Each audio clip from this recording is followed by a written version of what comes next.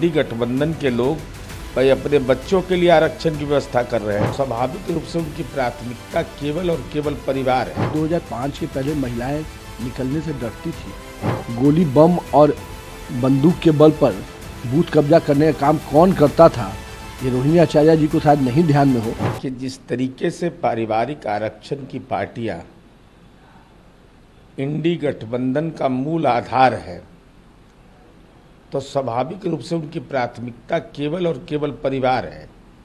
तो जब परिवार प्राथमिकता रहेगा तो 50 प्रतिशत जो आबादी है, जो रोल मॉडल बना हुआ है, और बिहार तो खास करके रोल मॉडल है, महिलाओं के सशक्तिकरण के मामले में, इसकी शुरुआत हम लोगों ने किया तो इन लोगों से उम्मीद क्या किया सकता है? इंडी गठबंधन के लोग भाई अपने बच्चों के लिए आरक्षण की व्यवस्था कर रहे हैं, लेकिन आरक्षण का विषय इसलिए चिल्लाते हैं कि अपने पाप को छिपाना चाहते हैं और अपने पाप को छिपा करके पारिवारिक लाभ की बुनियाद पर राजनीति की दिशा तय करना चाहते हैं, लेकिन वह सब जनता जानती है। अब आदरणीय मल्लिकार्जुन खड़गे तो पार्टी के राष्ट्रीय अध्यक्ष हैं। हम उनसे अनुरोध करेंगे कि आदरणीय स्वर्गीय प्रधानमंत्री इंदिरा गांधी जी द्वारा गरीबी हटाओ का नारा क्या गरीबी हटाओ का नारा का पूरा सब अनुपालन हो गया? कांग्रेस को अपने गिरेवान में झांकना चाहिए और राजनीति वैकल्पिक आधार पर करना चाहिए। भाई तेजस्वी यादव बोल रहे हैं कि एक करोड़ रोज़गार देंगे। आप बोल रहे हैं तीस लाख तो कौन झूठ बोल रहा है? कौन असत्य बोल रहा है? ये तो प्रथम प्रमाण है कि आपके बीच में कहीं तालमेल नहीं है। न रोज़गार के सवाल पर न सीट में न नीति में। अब इस संबंध में तो जेपी नड्डा साहब को ही पूरी जानकारी होगी लेकिन इतना तय है कि आम आदमी पार्टी ने लोकतंत्र जो लोकलाज की बुनियाद पर चलता है उसकी धज्जियाँ उड़ा दी। दिल्ली हाईकोर्ट ने उत्पाद शुल्क नीति मामले में सिसोदिया की जमानत याचिका रद्द कर दी। माननीय न्यायपालिका का कार्य क्षेत्र है और और जिस तरीके से शराब के मामले में अरविंद केजरीवाल हो, आप पार्टी हो, मनीष सिसोदिया हो, पूरी पार्टी के जो विभिन्न कुनबे के लोग के खिलाफ कार्रवाई हुई और जिस तरीके का साक्ष्य अब तक जनता के बीच मीडिया ने प्रसारित किया है, उससे तो यह लगता है कि कहीं ना कहीं इस पूरे गोरख धंधा में ये सब लोग की संलिप्तता है। एक छपरा की घटना में चुनाव आयोग के द्वारा निर्धारित आदर्श आचार संहिता यह साफ़ कहता है, अध्याय चार के बयालीस के सत्रहवा नंबर पर और अध्याय पाँच के आठ ग्यारह में, भाई कोई उस निर्वाचन क्षेत्र का मतदाता नहीं है, जिसके पास सरकारी अंगरक्षक है, भोला यादव पूर्व विधायक किस कैपेसिटी से घूम रहे थे? ये तो सीधे तौर पर उल्लंघन है और हम उम्मीद करते हैं कि चुनाव आयोग को और रिटर्निंग अफसर को यह गंभीरता से लेना चाहिए। आखिर मतदान केंद्र तक कैसे पहुँचे भोला यादव? किसने ये अधिकार उनको दिया?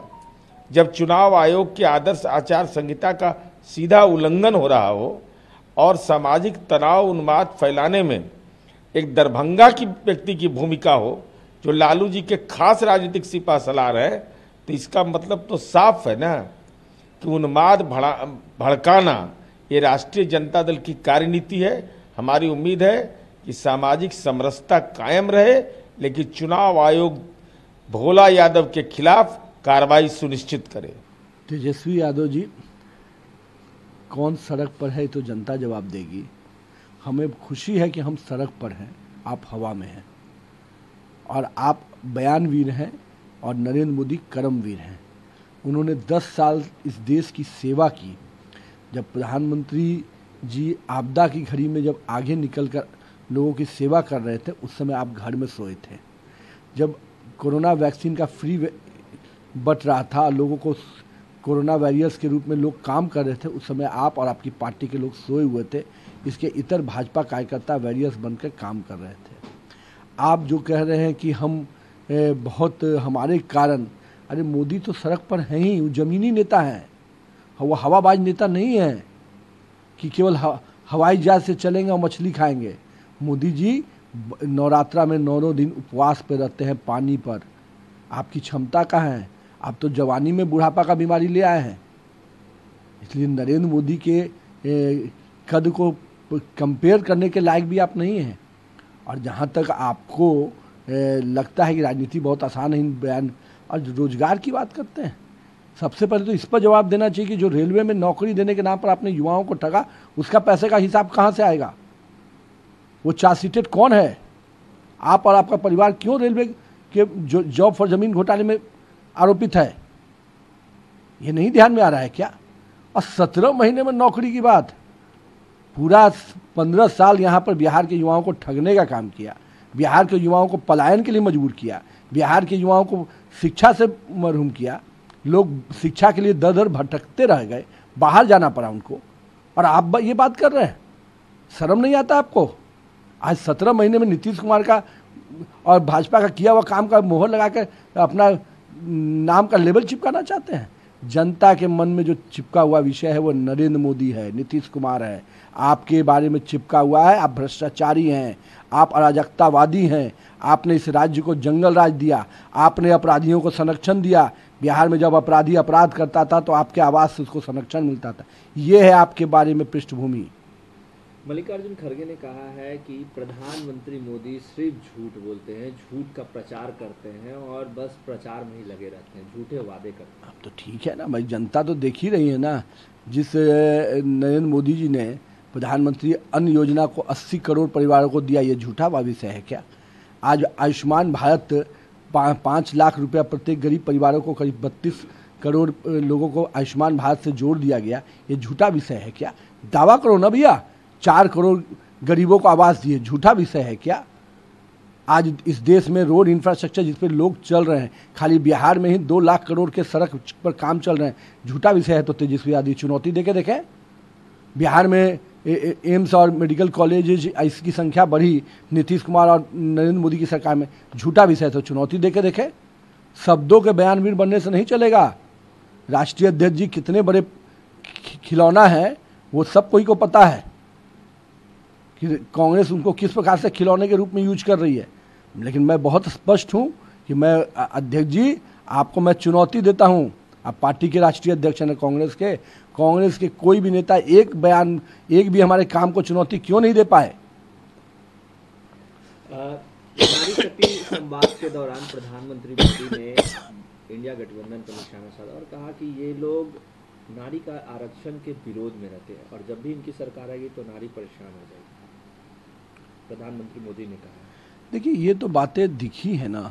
इस राज्य में आप अगर बिहार की तुलना देखें तो 2005 के पहले महिलाएँ निकलने से डरती थी और महिलाएँ इस डर में घर में रहती थी कि कहीं मेरा बेटा और मेरे हस्बैंड अगर बाहर गए तो सुरक्षित लौटेंगे कि नहीं लौटेंगे। आज महिलाएँ तेज़ी से निकल कर काम कर रही हैं। अंतर तो साफ़ है। आज हमारे नीतीश कुमार की सरकार में लड़कियों को साइकिल दिया गया कि वो अपनी शिक्षा के लिए जाए। याद है? लालू यादव और नीतीश तेजस्वी यादव की परिवार के सरकार में क्या होता था? लड़कियाँ निकलती थी तो कब घर आएँगी कि नहीं आएँगी? ये डर होता था। आज हमारी बहनें अलग अलग क्षेत्रों में आगे बढ़ रही हैं। कई अच्छे चाहे वो से, सेना से लेके हो एयर एयरक्राफ्ट चलाने से लेके हो बड़ी बड़ी कंपनी में जाने से हो हर जगह महिलाएँ आगे बढ़ रही हैं। तो दस वर्षों में तो महिलाओं को जो प्राथमिकता माननीय प्रधानमंत्री ने दिया है वो तो शुरू से दिखा है। हाँ हम परिवार की केवल महिला को नहीं बढ़ाते हम सामान्य महिला को भी बढ़ाते हैं। दिल्ली हाईकोर्ट ने उत्पाद शुल्क नीति मामले में मनीष सिंह सिसोदिया की जमानत याचिका खारिज कर दी है। अब देखिए ये लोग तो आधा बेल वाले हैं कुछ जेल वाले हैं। ये सबको मालूम है कि 2024 में अगर नरेंद्र मोदी दोबारा आ गए तो ये भ्रष्टाचारियों को कोई राहत नहीं मिलने वाली है। और यही कारण है कि कोर्ट के दरवाजे पे इनको लगातार चोट पड़ रही है। फिर भी ये जनता के सामने ये खड़े होते हैं तो इनको माफ़ी मांगनी चाहिए कि आज ईडी और सीबीआई पर आरोप लगाते हैं। लेकिन कोर्ट में आपको क्यों नहीं बेल मिल रहा है? यानी देश की सबसे बड़ी, कह सकते हैं, एक न्यायिक प्रक्रिया में वहाँ भी आपको अगर दिख दिख रहा है कि आप चार्जशीटेड हैं, आपको बेल नहीं दिया जा रहा है तो कहीं ना कहीं आपको खुद में शर्म आनी चाहिए कि अब उसके बाद भी आप बड़े बड़े बयान भी बनते हैं। अब तो ये भी बयान होने लग गए हैं कि कोर्ट पे भी कब्जा हो गया है, न्यायालय पे भी कब्जा हो गया है। सर, ये लोग, वो लोग हैं, जब जीतते हैं तो ईवीएम पर ध्यान नहीं आता है और हारते हैं तो कहते ईवीएम के कारण हो गया। कर्नाटका जीते तो तो हम लोगों ने नहीं कहा कि ईवीएम गड़बड़ था, लेकिन वही है, न्यायालय के फैसले के इनके मन के अनुकूल आ गए तो न्यायालय बहुत सर्वोच्च है, और न्यायालय के फैसले नहीं आए तो न्यायालय पर कब्जा हो गया है। अरे कहाँ कहाँ आप जाइएगा? पाप किए हैं काला धन इकट्ठा किए हैं तो जेल जाना पड़ेगा। इसके लिए चाहे जितनी आप सफ़ाई देते रहिए और जितना आरोप लगाने लगाते रहिए, भारतीय जनता पार्टी और केंद्रीय नेतृत्व नरेंद्र मोदी की सरकार को कोई फ़र्क नहीं पड़ना है। हम भ्रष्टाचारियों को जेल में भेज के रहेंगे।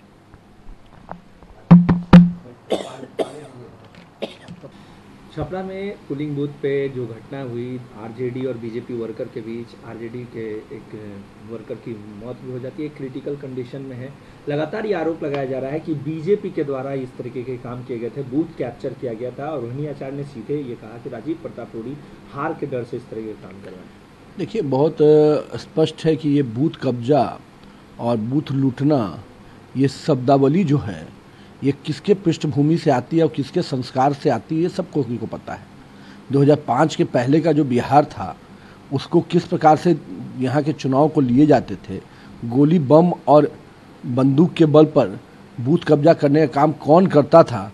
ये रोहिणी आचार्य जी को शायद नहीं ध्यान में हो, लेकिन उनके ही पिताजी के पार्टी और जो लोग थे, ये उस समय ये कार्य हरकतें वही लोग करते थे। वो तो सौभाग्य मनाइए कि इलेक्शन कमीशन ने टाइट करना शुरू किया। और टीएन सेशन का समय आया, तब से ये चीज़ें रुकी है। और कहीं ना कहीं जो भी राज्य सरकारें रही, लोगों ने कड़ाई से इसको लागू किया। लेकिन आपके समय में क्या होता था सबको को मालूम है। और आज आप फिर से वही तांडव खेलना चाहते हैं। फिर से बूथ कब्जा फिर से बूथ लूटने का प्रयास तो कहीं ना कहीं प्रतिरोध होता है।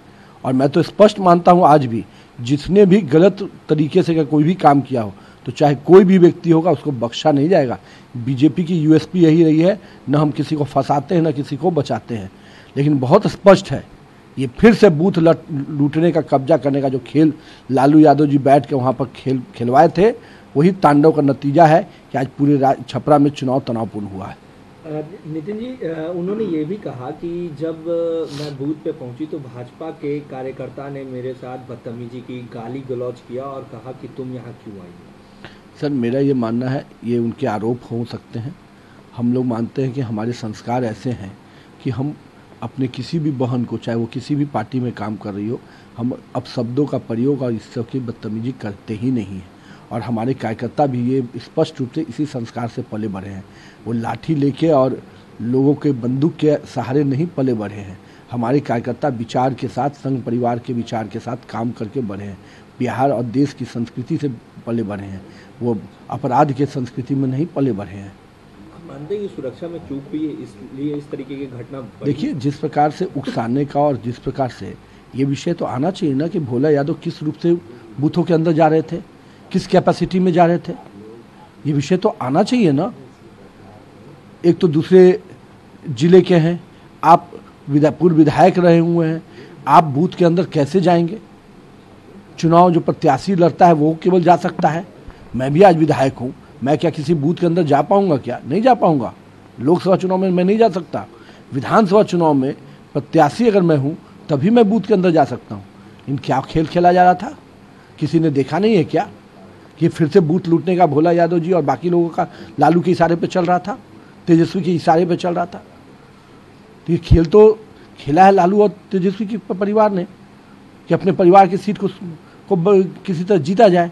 तो कितना लोग, अभी तो हम तो कह रहे थे कि भाई, कम से कम पंद्रह सीटों पर लालू परिवार को चुनाव लड़ना चाहिए था। ये दो ही सीटों तक क्यों सीमित हो गए? पंद्रह सीटें हैं जो आप लालू परिवार का जोड़िएगा, सब लड़ सकते हैं।